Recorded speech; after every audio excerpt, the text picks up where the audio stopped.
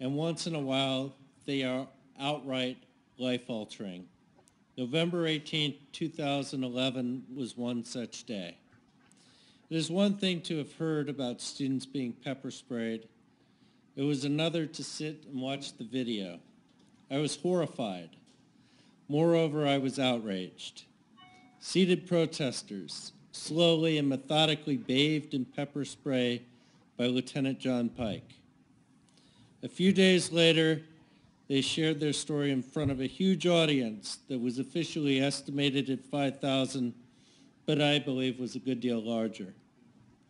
I will never forget the clear and articulate accounts of the students expressing the shock and the pain and the agony of being pepper sprayed. Some people have questioned, why honor people for being pepper sprayed? For me, it was a simple decision.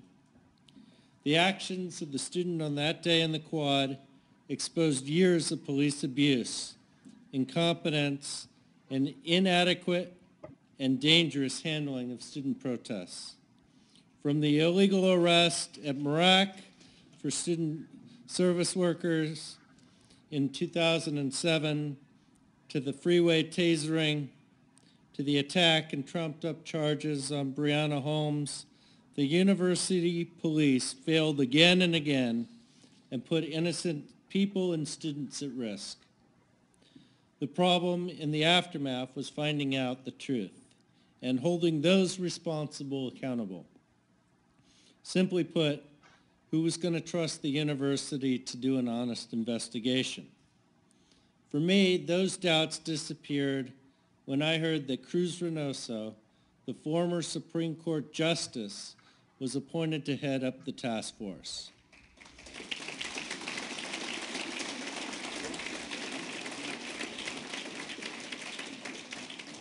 Those of us who have known Cruz Reynoso for years knew that he would not be a part of any cover-up. And when his task force came out with its report, it was devastating. The truth had come out, and the action of the police and the administration laid bare for all to see. Last year, in November, we honored the lifetime achievement of Cruz Reynoso with a Vanguard Award. This year, it is perhaps an even bigger honor that he will be presenting those students who were pepper sprayed and arrested on November the 18th, 2011 on the UC Davis Quad with an award themselves. Ladies and gentlemen, Justice Cruz Reynoso.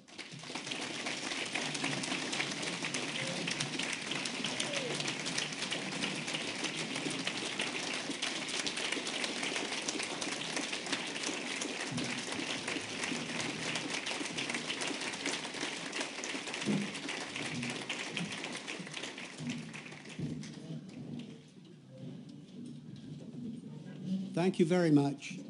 When I got a call asking whether, uh, at telling me that the president wanted to appoint me uh, as the chair of the task force, I asked if he was sure he wanted to appoint me because I had a reputation for speaking my mind. I got a call back saying that the, that the president, in fact, had confidence in me and he did want me want to have me be the chair. So, so I accepted it. Uh, and fortunately, though we have a quite diverse uh, task force, they were all of like mind. They wanted to call things as they were. So we did. And sad to say, we found fault with everybody, from the chancellor down to the police. To, to the police. During that time, uh, I did a lot of uh, thinking and hearing, uh, and a friend of mine put me together with a gentleman who uh, is an expert on police practices. And he told me that he had done studies on 31 police uh, units, police forces in cities and counties. In those 31, he had only found one that had what he thought was an essential part of a good police department. And that essential part was that there would be an understanding that if anybody in that police force violated the law or ethics, etc., that person could be confident that somebody else would bring that to the attention of the authorities. He said only one of those 33 uh, met, met that, that standard. Sad to say, I've had contact in Yolo County with several police departments, the UC Davis Police Department, the Davis Police Department, the Davis, uh, the Yolo County Sheriff's Office, the District Attorney's Office. None of them, sad to say, in my view, meet that qualification. I'm very sorry to say. I, I, I trust that, I trust that those that I haven't had contact with do meet that qualification. I, I, I don't, I don't know. Uh, so it seems to me that, uh, that we have a lot, a lot of work to do. Uh, all too often we believe the first statement that comes after an incident uh, like the pepper spraying. And the first statement was from the police chief at, at, the, at the university who said they sprayed the students because they were afraid for their lives. They were surrounded. Later, of course, we could tell that it simply was not true. It was not true because of the, because of the videos that many students had taken, incidentally, something like 60 videos. So, so the, uh, the Kroll people who are doing the investigation for us put together a, a, a- those videos in such a way that we could tell minute by minute what was happening. They were never surrounded. If they were afraid, as some of them said they were afraid, they were afraid because of a lack of training, lack of experience, or they didn't know what was going on. Our report began with the first sentence that said the pepper spray should never have taken place. Uh, and, and, I, and that was the, the, the uniform and unanimous uh, conclusion of, of everybody in, uh, in, in our task force. Fortunately, the task force is not one, the task force report apparently is not one that will simply gain dust on the shelf. And indeed, uh, it was sufficiently stark uh, that the chancellor and others are beginning to implement many, many of our recommendations with the hope that the UC Police Department will in fact be like that one police department that expert found, where everybody there being public citizens will understand that, that when another public citizen does not live up to the ideals of that department, that, that person will be reported. Only then can we have full confidence in the public service, service that we have in terms of police depart, in terms of our police. I happen to support the police. I was, I was telling, I was told one time when I was in Virginia, uh, my wife and I were in a terrible accident, and, and several people said, don't go, don't, at night, don't go by this street. There's, there's a public park there and it's dangerous. Uh, you know, I, I confess I didn't pay attention to that. I walked by, by, by that uh, park, but whenever I would see a police officer there, I really had a sense of protection. Uh, so, so that, that's the sort of sense that we want whenever we see a, a, a, police officer, it, it seems to me. Uh, so, so to me, it, it, it is indeed uh, an, an honor to present this award to, to the students who, who provided the opportunity for a true analysis of how the police force at UC Davis was operating, uh, how it operated, how it violated the law, how it did not follow its, its own its own procedures, the lack of the lack of, of proper relationship between the top officials, including the chancellor uh, of the university, uh, uh, with the police department, uh, did, did not properly operate well, and all of those things need to change, and apparently are are on the basis of, of, of changing.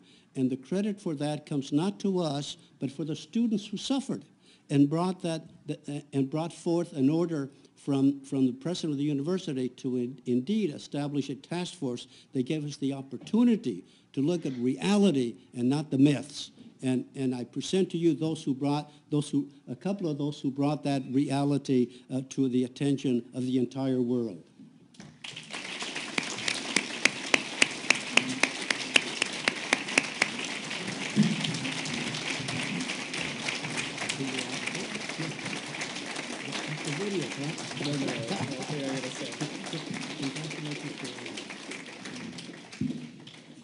And he's shown up with, with, with, with, with a little, little phone that, that can take videos. so why don't you say? Yeah. Me and my friend are going to say something briefly. Put this down. We want to thank you all for this award. Um, there were a lot of amazing and brave students there on the quad on November 18th. And we are honored to represent them in accepting this award. David has committed to remaining active in exposing political repression, not only with the sensational pepper spraying, but also with the less spectacular but still critical Davis Dozen criminal case, of which Deanna and I are a part. Continuing to bring attention to these cases, even when they are less spectacular, is what sets the Davis Vanguard apart. November 18th last year was but one well-recognized event in a long, continuous pattern of police abuses enforcing unjust monetary policies. And this pattern continues right now, just down the coast in Anaheim, and Canada and Syria and Cairo all connected. Davis is but one face of this shared struggle. It goes on every day. And we need to be brave and stand up, really stand up with each other against repression and systematic abuses. There are protests this weekend in San Francisco and Oakland, and there will continue to be protests. We hope your awarding us this award will be a first step in continued support of political dissent. Thank you and have a wonderful night.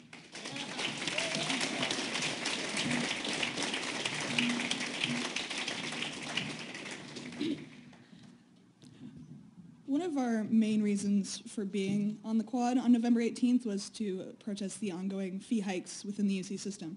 But a much stronger driving force, and the reason we were there so passionately, was to protest the police brutality against students and faculty at UC Berkeley that had been seen a few days before. Um, in this way, I believe our struggle transcends the university and connects very closely to the issues being discussed here today.